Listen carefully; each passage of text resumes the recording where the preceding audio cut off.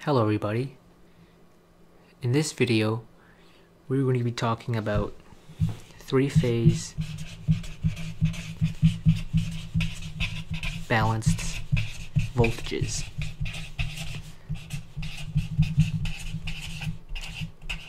So we're going to uh, start step by step to understand what three-phase balanced voltages are. So let's start off the word phase. What does phase mean? So phase is simply a terminology that basically gives a, a degree or some sort to indicate where uh, at which period of its cycles starts at. So to start off, we have to make create a reference wave. So let's draw a graph here. So we have this reference wave right here, right? And it starts, this is our reference wave, and we can say that it starts at zero degrees. Now, the terminology phase basically means is that our wave that we are dealing with starts at a different time. So let's say that this is our reference frame and our actual wave actual wave starts here. So what we know is that our reference reference wave starts at zero degrees and then our actual wave starts at this point.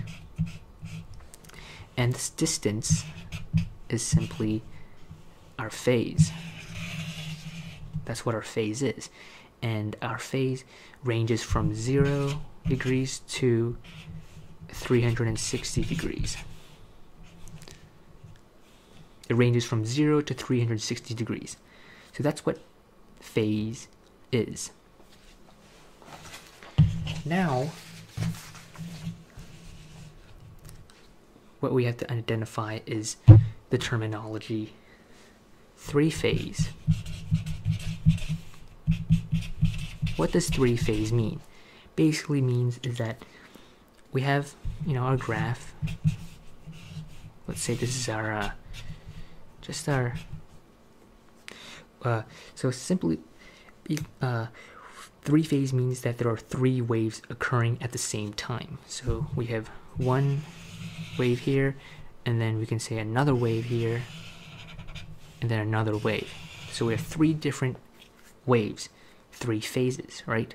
Three phase meaning that you know there are coordinated at different positions. So we can say that this phase, I mean this wave, wave A starts at here, wave, wave B starts at here, and wave C starts at here. So there are three different phases. Now, let's understand what does it mean three-phase balanced. Three-phase balance basically means that the three waves are coordinated at a certain position which cancels each other out. Canceling it uh, causes balancing it, causes the balance. So how do we do that? What is the necessary component, the necessary condition which has our three different waves cancels each other out. Because um, and so in order to do that what we need to do is we need to set them apart equally with one another. So we have wave A here wave B wave C.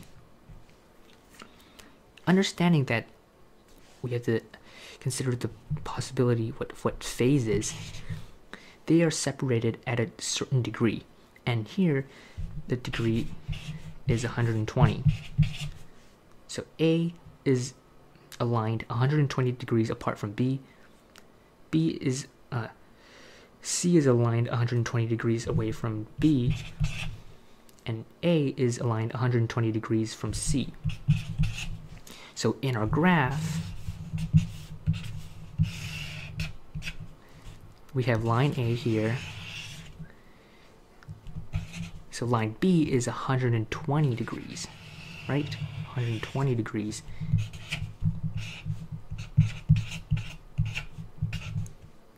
apart from one another. And line C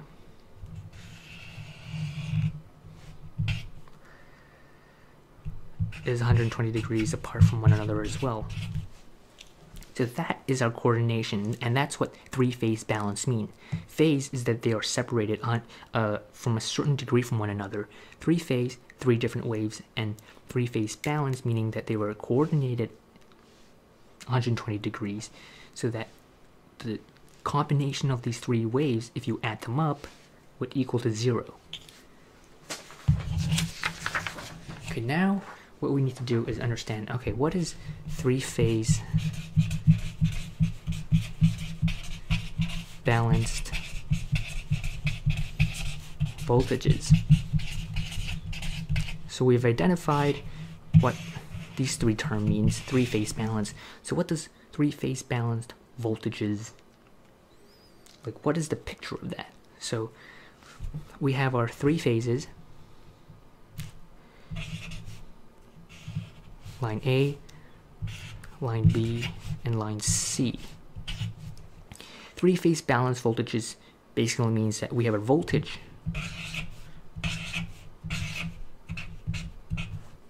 on each uh, phase. So we have VA here, VB, and VC.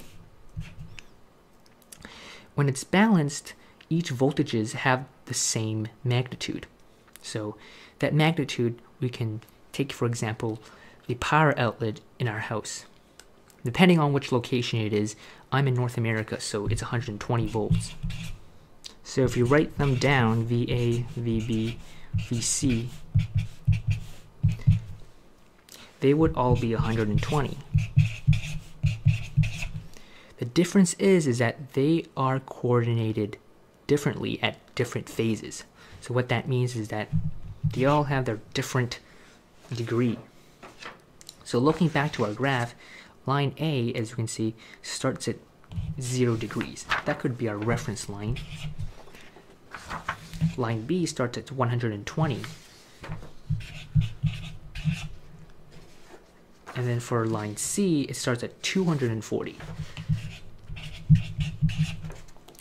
So that is three-phase balance voltages. And to know that it is balanced, what we can do is we take VA plus VB and VC. And if you add them up, it should equal to whatever value that determines that it is balanced. Now I'm not gonna no, I'm not gonna show you what the answer for this is. That's a challenge for you as a viewer to know.